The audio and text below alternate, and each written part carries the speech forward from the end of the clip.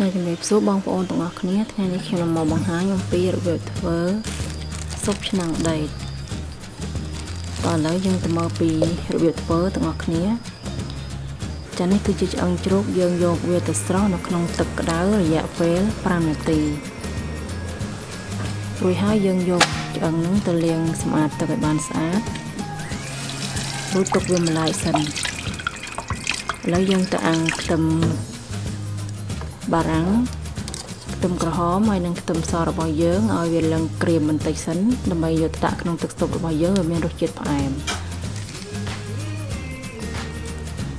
បន្ទាប់មកយើងត្រៀមទឹកមួយឆ្នាំងមកគឺ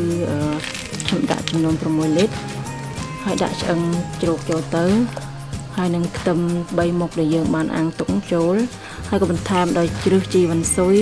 មើមឆៃថាវស្លឹកតើយហើយនឹងផ្សិតក្រអូប ហើយមានអំបិល1លីត្របាយស្ករក្រាមចំនួន50ក្រាមហើយនឹងទឹកស៊ីអ៊ីវចំនួន4លីត្របាយផងដែរ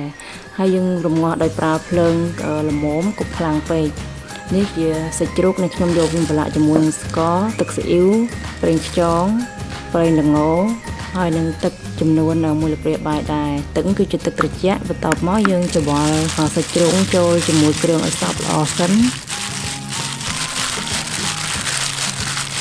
ហើយយើងទុកវាម្លាយសិនមកឥឡូវយើងទៅលេខទៅមើលទឹកស៊ុបរបស់យើងវិញម្ដងចាក្នុងម្ដងពេលដែលយើងស្ងោរទឹកស៊ុបវាតែងតែមានពុំចឹងឡើងមកយើងដួសវាចេញឲ្យអស់ដើម្បីទឹកស៊ុបរបស់យើងវាថ្លាតមកយើងបន្តរងាស់រយៈពេល3ម៉ោង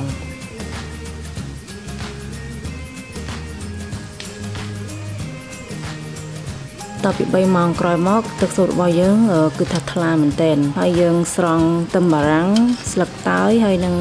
ទឹមក្រហមហ្នឹងចេញសិនមកអាហ្នឹងគឺរួចរាល់ហើយទឹកស៊ុបរបស់យើងឥឡូវយើងមើលពីបន្លែវិញម្ដងចាបងប្អូននេះបន្លែយើងត្រូវដាក់មីនលីសួរផងដែរហើយក៏មានមឹកមានបង្គាហើយយើងពុះសាច់ជ្រូកយើងគោះបង្គាដាក់ចូលមកក្របទៅណាបងប្អូនឥឡូវយើងដួសទឹកស៊ុបដាក់ចូលក្នុងឆ្នាំងដីរបស់យើងមកហើយយើងយកពងទាហ្នឹងយើងវាយឲ្យបែក រលាយសពជាមួយនឹងសាច់ជ្រូកយើងអញ្ចឹងមកហើយយើងដាក់ចូលក្នុងទឹកស៊ុបរបស់យើងតែម្ដងហើយយើងបន្តដាក់បន្លែមានស្ពៃជើងទាមានជីតាំងអោស្ពៃបូកគោសិតហើយនឹងមានត្រកួនណាបងប្អូនហើយយើងអាចដាក់បង្គាដាក់មឹកតាមអឺ ការគួររបស់បងប្អូនទៅហើយយើងគ្របឲ្យវាឆ្អិនចាំបន្តវាឆ្អិនហើយយើងអាចដួសមកញ៉ាំបានហើយចំពោះទឹកជ្រលក់ខ្ញុំប្រើជាទឹកជ្រលក់សុពីស៊ុបណាបងប្អូនចាំបើបងប្អូនចង់ដឹងអំពីរបៀបធ្វើទឹកជ្រលក់នោះនឹងខ្ញុំនឹងមានវីដេអូបង្ហាញរួចមកហើយគឺបងប្អូនអាចចូលក្នុង description ខាងក្រោមរបស់ខ្ញុំបានខ្ញុំដាក់ link នៅក្រោមហ្នឹងហើយនេះខ្ញុំក៏សូមអរគុណសូមជម្រាបលា